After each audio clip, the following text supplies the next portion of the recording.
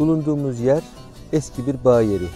Burada razakı çeşidi üzüm vardı. Ee, artık yaşlandığı ve verimden düştüğü için üreticimiz buraya tekrar farklı bir çeşitle yeni bir bağ tesisi e, kuracak. E, bölgede e, pazar değeri yüksek olan Alfons çeşidi e, bağı tesis edilecek burada.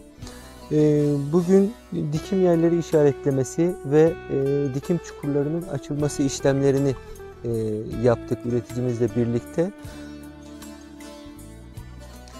Bugün 17 Şubat ve dikim gününe geldik. E, dikim öncesi tüm gerekli teknik bilgiyi üreticimize aktardık.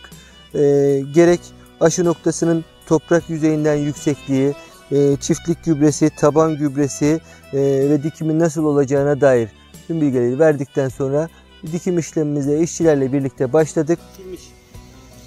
Bunu kesmiştik dün denemelik olarak o denk gelmişti. Zaten kırığın, bozuğun, çürüğün kesilmesi icap ediyor.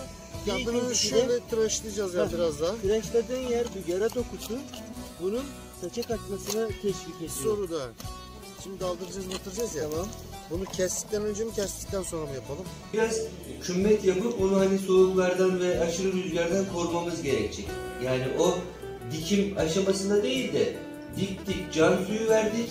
Sonra ince toprakla aşı noktasını falan kapatıp